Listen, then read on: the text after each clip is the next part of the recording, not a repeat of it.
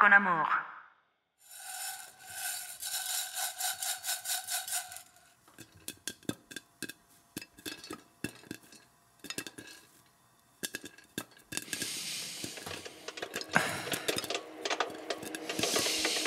Mantequilla. Derretida. De Europa con amor. Quesos, crema y mantequilla de Francia. Bienvenidos a una edición más de De Europa con Amor. El día de hoy tenemos invitadas. La verdad es que a mí me encanta tenerlos aquí. Son dos personas que no solamente yo quiero, ya la CDMX quiere, y pues bueno, son dos apasionados de la cocina mexicana y también un poquito de la panadería, claro que sí. Hoy está con nosotros Aldo, mejor conocido como Don Pastel, y Mane Rivera. Bienvenidazos. Gracias, muchas gracias. Qué Gracias. estar aquí. Está bien ch estar aquí. Sí. ¿Es su primera vez? ¿Contigo? Conmigo, ah. No. Contigo sí, contigo sí. No sé cómo sentirme después de esto. Somos viejos conocidos. Somos viejos Y conocidos. grandes hermanos. Exactamente, pero nosotros ya nos conocemos, queridos, pero nuestros escuchas todavía no. Cuéntenles un poquito de ustedes. Bueno, yo soy Mane Rivera. Yo, curiosamente, siempre he estado muy conectado a la gastronomía por, por eh, mi familia. Soy del estado de Jalisco, ¿no? Eso me define muchísimo en mi cocina y de profesión administrador. Y la vida me llevó hace tres años y medio a ser cocinero profesional y pues me aquí. ¿No, Aldo? Este dice la vida, güey, cuando estuve un año molestándolo para que fuera cocinero, para que confiara en sus dotes. Sí nos acordamos que ahí te estuvo empuje y empuje, ahora sí que se te, se te estuvo di Ahora, ahora y di. sí, ajá, exactamente. y bueno, yo soy Aldo Saavedra, mejor conocido como Don Pastel. Yo ya llevo casi 20 años cocinando. Ya un Aunque si, me, aunque si me ven, me veo más joven, ustedes No, no, no, se es de que onda. yo, yo no quiero decir de qué edad te ves, pero Pero te ves sí, joven. Ya, ya, ya estoy. Y, y tengo 12 años con pastelerías, tengo aparte Tierra Adentro junto con Mane, tenemos Tetela, trabajamos para el proyecto de Arcatierra. La verdad es que somos moviditos. Nos gusta andar en todos lados. Lavado, planchado, surcido. Todo. Sin todo. quejas. Cinco estrellas. Sí, pues. Oigan, pero tengo una pregunta. ¿Ustedes son palomeros? Por supuesto que sí. Me encantan. Aunque creo que siempre cuando estamos frente a alguien, las comemos de manera muy decente. Ah, no, claro. Es como el mango, ¿no? Tratas de hacerte lo más decente que puedas. Sí, pero con las palomitas Sí. es casi imposible. ¿Qué tal me quedaron estas? ¿Me quedó bien la cantidad de mantequilla? ¿Se me pasó o qué? Yo creo que lo único que les faltó fue como un toquecito más extra de mantequilla, porque la verdad están muy ricas. Pues perdón por no ser mane y, y- y tener la medida perfecta en las manos, Aldo. Pero, ¿ustedes se han preguntado quién por primera vez habrá dicho, ay, le voy a poner mantequilla a las palomitas? No tengo idea, pero qué maravillosa idea. Le queda espectacular la mantequilla a las palomitas. Le da brillo, le da hidratación. Golosidad. Crunch. Ajá. Mmm, qué rico. Oigan, pero ya que estamos hablando de la mantequilla, obviamente no es el único platillo o golosina o postre o botanita que, que la lleva, ¿no? ¿Qué me dicen de los escamoles? Para mí, sabes que encuentro como una relación, no quiero decir extraña, pero no sé si te has dado cuenta que gran parte de la cocina que a veces es de campo se lleva muy bien con la mantequilla. Hablamos de una flor de maguey, escamoles, ¿no? Los mismos quelites, Flores de calabaza. flores de calabaza. Todo eso con mantequilla es brutal, ¿no? Aunque pueda parecer un contexto diferente, ¿no? Sí, los contextos ajenos pareciera ser que se contraponen. Sin embargo, recordemos que cuando llegaron los españoles, prohibidísimos lácteos para la gente local, ¿no? Los criollos aprenden a usarla observando a las españolas en las cocinas y cuando se permite este asunto es como decir, vamos con todo, con la mantequilla, ¿no? Es que imagínense la primera vez. O sea, honestamente, siempre la primera vez a nivel cerebral es, ay, es una cosa que nunca se te olvida, ¿no? Entonces, Sí. la mantequilla de olor, De olor es deliciosa. simplemente de olor. O sea, es como el café, se te mete en las tripas nada más el olor y ya te provoca, ¿no? Ya es Sí. como, quiero ponerle a mis hot cakes, ¿no? Aunque por ejemplo, no es exactamente derretida, pero se derrite. O sea, tú Sí. pones eh, arribita, ya sabes, el, ay, el cuadrito y se va como deshaciendo. Es, es sensual. O Es sea, sexy, es, sí. Sí, Aparte es un sí. alimento sexy, ¿no? O sea, las formas que hace, las texturas que toma, los olores, todo provoca, o sea, sí es un despertar de los sentidos cuando tienes mantequilla suave frente a ti. Y también, por ejemplo, eh, ya hablamos de las palomitas, ya hablamos de los escamoles, pero también, a ver ustedes qué opinan. Otro eh, alimento que aquí en, en México no lo pueden servir sin la mantequilla es la langosta. Y tanto que la hemos adoptado nuestra, ya sea en Baja California o al sur por Tulum, ¿no? Que son pueblos langosteros, qué bien se lleva con ella, ¿no? O sea, qué maneras de cocinar tienen los mismos pescadores utilizando una barrita de 90 gramos de mantequilla, porque hacen magia con eso. Sí. Claro, y, y el aporte en boca, en sabores, es como el- la mantequilla es como el flautista, ¿no? Te va ahí seduciendo, te va Te va guiando. te va guiando. Oigan, cariños, ¿y ustedes cómo seducen a los comensales en sus restaurantes, tanto en tetela como en tierra adentro? ¿De qué manera usan la mantequilla? ¿Qué papel juega? Fíjate que en tierra adentro es muy importante la mantequilla. A mí me encanta usar mantequilla, ¿no? Incluso cada que puedo la, la trabajo con las manos porque esa sensación es, es bien rica en las manos. En tierra adentro actualmente tenemos eh, tres platos que llevan mantequilla sí o sí. Uno de ellos es la capirotada. Es un pan eh, de frutos secos, deliciosísimo, sellado con muchísima... No, no tenemos razón en usar la mantequilla Mesura. en ese plato. Es No hay mesura. no, no, lo- no lo meditamos, no lo pensamos en el costo, nada. Simplemente pon la mantequilla que el pan te pida. No, mane, y es que yo ya tuve la oportunidad de probarla. De verdad, visítelos en tetela y pidan la capirotada y, híjole, disfruten, porque sí es, ay, es una cosa deliciosa. Deliciosa, sí. Y la usamos en otros dos platos. Uno de ellos tenemos un mole de pistache, que en lugar de manteca o aceite vegetal uso mantequilla para cocinarlo. Le da una gran textura, realza el sabor del pistache espectacularmente. Y sellamos eh, unas setas, también con un poquito de mantequilla. He descubierto en mi experiencia personal que la mantequilla y los hongos tienen un acompañamiento muy delicioso.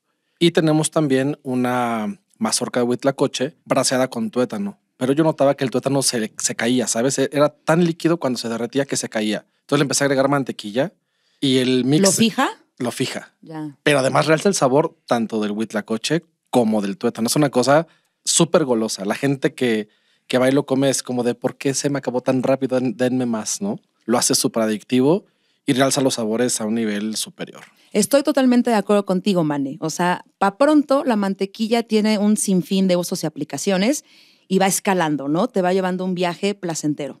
Y más, sobre todo, si la mantequilla es de buena calidad, supera todo, ¿sabes? Es como, como que no le pone un límite al sabor. Exacto, el límite te lo pones tú, ¿no? Ya Así en cuestión es. de irlo, de irlo llevando. Así es. Oigan, pero estamos hablando aquí de que, de, de que si lo utilizas bien tienes un, un resultado positivo. Pero cuéntenos, porque obviamente pues todos empezamos, ¿no? Y todos la regamos. ¿Cuántas veces o cuál fue la más épica que la regaron usando mantequilla? Pues yo te podría decir que últimamente he empezado la creación de algunas cremas o rellenos para algunos panes, pero empecé a ver la, la mantequilla como un uso no solo de sabor, sino de textura, y entonces la mantequilla le aporta cremosidad a estos rellenos. Pero hubo unos que de pronto yo me empecé a complicar la vida, que los empecé a hacer de frutas que llevan mucha agua. Y entonces cuando yo empezaba a tratar de unir, se hacía un cortadero que se veía horrible, yo la mantequilla ya no la podía usar, la fruta ya no la podía usar.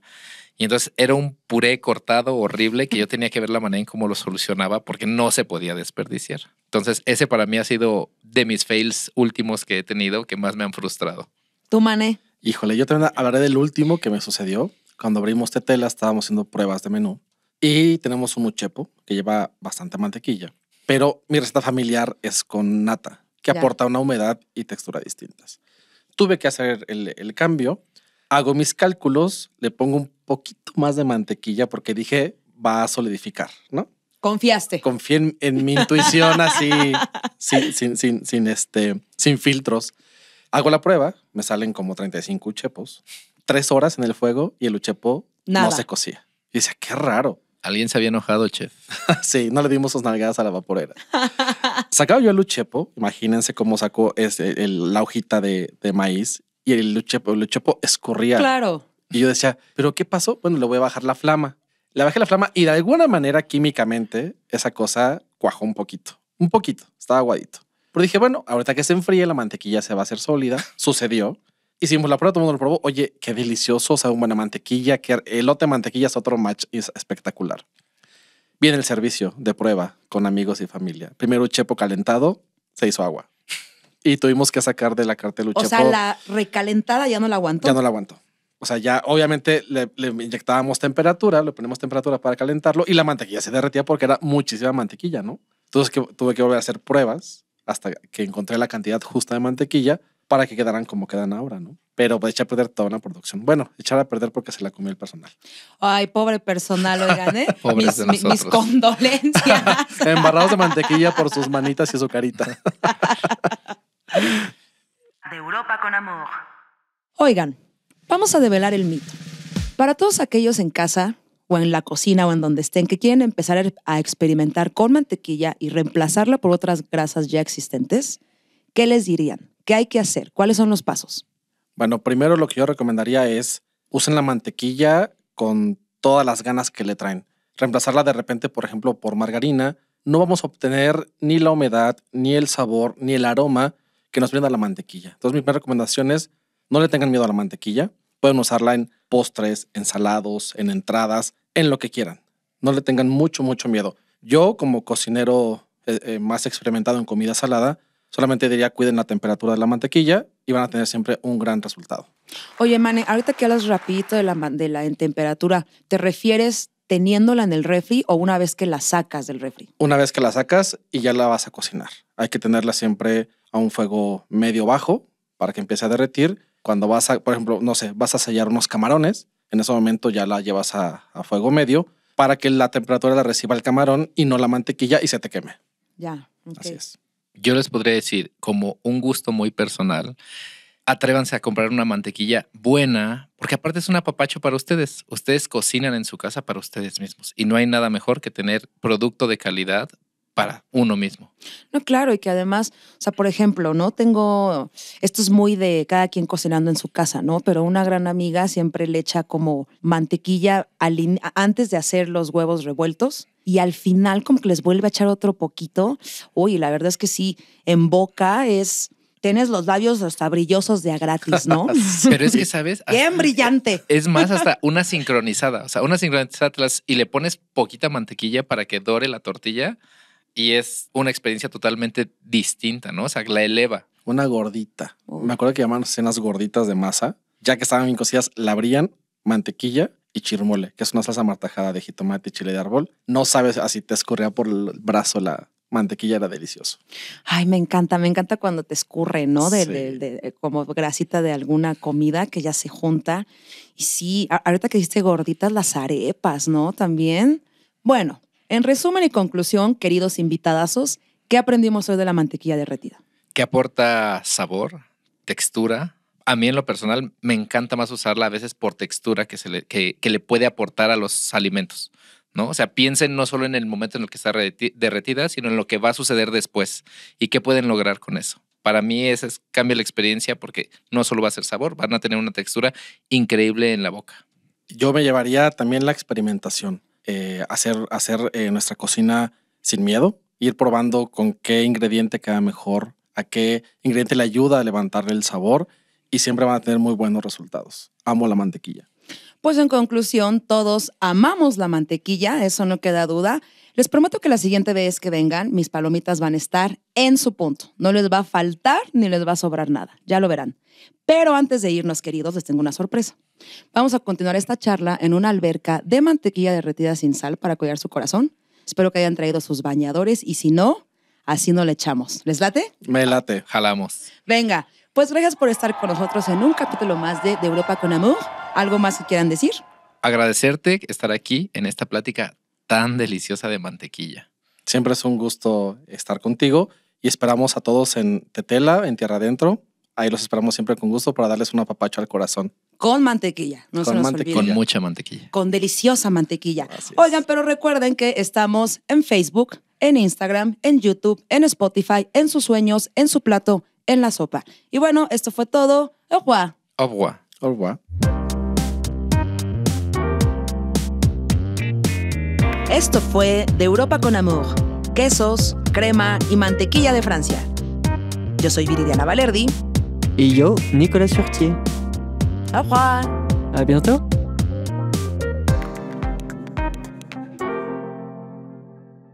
De Europa con Amug, quesos, crema y mantequilla de Francia, es una iniciativa del Centro Nacional Interprofesional de Economía de Lácteos de Francia. Todas las opiniones representan el punto de vista del autor únicamente y son de su entera responsabilidad. La Comisión Europea no es responsable del uso que se le pueda dar a la información aquí contenida. Agradecimiento especial a la Universidad de la Comunicación por proporcionarnos el acceso a su estudio de grabación. Guión e investigación, Jimena Betanzos, Ivonne Hidalgo y Jorge García. Dirección, Artemisa Buendía. Conducción, Viridiana Valerdi y Nicolás Jutia. Edición y diseño de audio, David Parra.